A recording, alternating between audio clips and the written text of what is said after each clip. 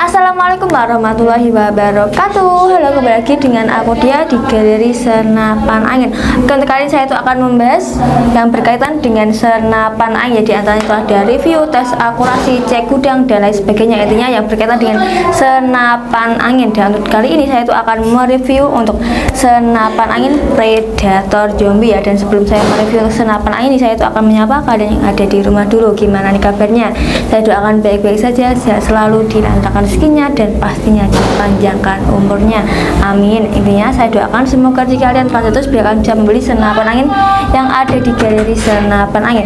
Dan untuk kalian jika penasaran dengan spek-speknya dan juga penasaran dengan senapannya kalian wajib tonton terus video ini sampai habis dan pastinya jangan lupa di subscribe oke kita mulai bahas dari bagian depannya dulu ya. Kita bahas dari bagian lasnya dulu sampai ke bagian popor kita bahas dari bagian lasnya dulu. Untuk lasnya itu bentuknya apa dan panjangnya berapa gitu ya untuk lasnya ini menggunakan laras Polymax ya tidak menggunakan laras 2S atau laras basis simples tapi menggunakan laras Polymax yang mempunyai serambong yang bodinya itu 19 untuk panjang larasnya panjangnya itu 60 cm alurnya 12 OD nya 14 dan di sini di sini itu ada bagian penutup laras ya dan penutup laras ini bisa kalian ganti menggunakan peredam untuk penutup laras ini sebagai variasi tapi bisa juga kalian ganti menggunakan peredam intinya kalau kalian suka siap-siap kalian bisa banget ganti menggunakan peredam.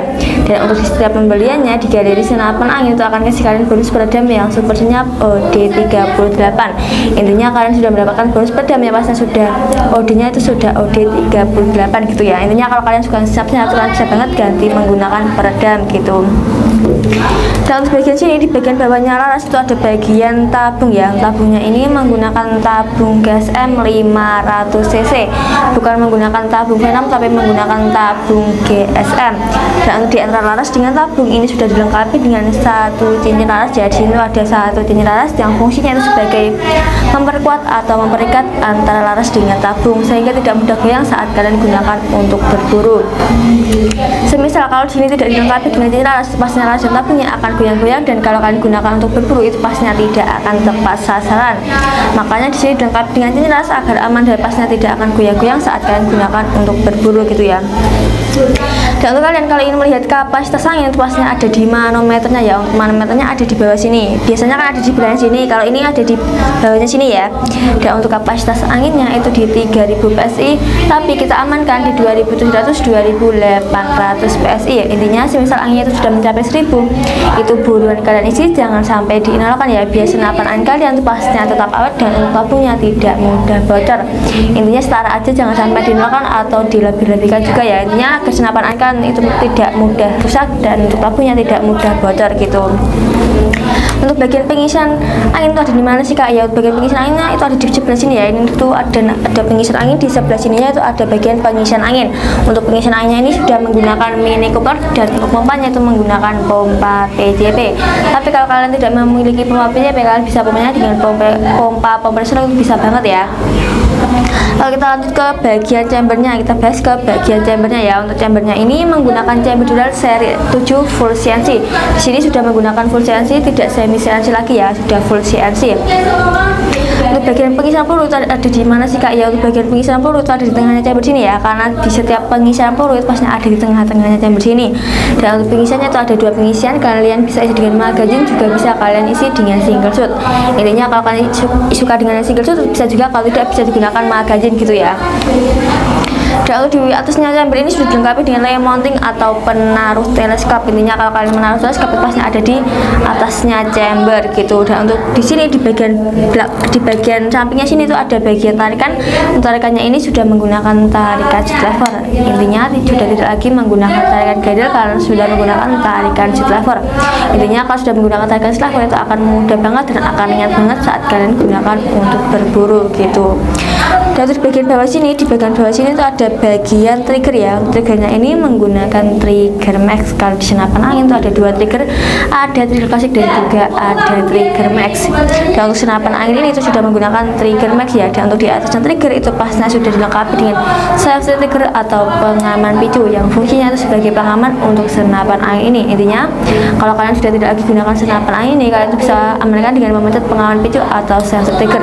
Biar senapan angin kalian itu tidak dipakai sembarang orang ya. Misal senapan angin ini dipakai anak-anak itu akan bahaya banget. Karena senapan angin ini itu bukan mainan. Intinya kalau kalian sudah tidak lagi gunakan senapan angin ini. Kalian bisa amankan dengan memencet pengaman picu atau safety triggernya saja gitu. Oke, kita lanjut bahas ke bagian belakang sini ya. Kita bahas ke bagian setelan power. Setelan powernya itu ada di dalamnya sini. Dan setelan powernya ini bisa kalian putar ke kiri untuk small game dan juga ke kanan big game. Atau yang big game itu untuk bulan besar kalau yang small game itu untuk bulan kecil ya. Dan bulan kecil itu apa sih kak ya untuk bulan kecil itu kayak burung tupai dan lain sebagainya. Kalau yang bulan besar itu baru yang game ya contohnya game itu kayak babi biawak dan lain sebagainya. Ini bulan-bulan besar yang berkaki empat. Intinya kalau kalian menggunakan stand power jangan sampai kebalik yang game yang besar yang small game itu yang kecil gitu. Kita lanjut ke bahas ke bagian popor ya. Untuk popornya ini tidak menggunakan popor klasik atau popor kayu tapi menggunakan popor maju mundur. Intinya popornya itu bisa diatur untuk sesuai selera kalian ya. Intinya kalau kalian suka yang lebih panjang itu bisa dimundurkan saja kalau tidak bisa dimajukan saja intinya bisa diatur untuk sesuai selera kalian ya ini gampang banget. Dan untuk di bagian sini itu ada bagian Jalan dan bau yang terbuat dari karet mentah sehingga lebih nyaman dan pastinya empuk banget saat kalian gunakan untuk bersandar di bau kalian. Ini akan nyaman banget karena pembuatannya dari karet mentah gitu.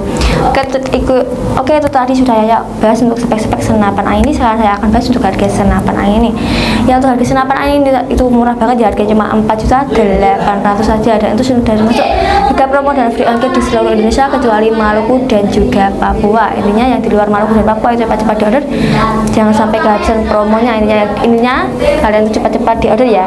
Dan untuk kalian kalau membeli senapan angin kalian sudah mendapatkan tujuh kelengkapannya. Di antara kelengkapannya itu ada tas tali sandang gantungan peluru peluru tas magazin peredam dan juga STK nya ada.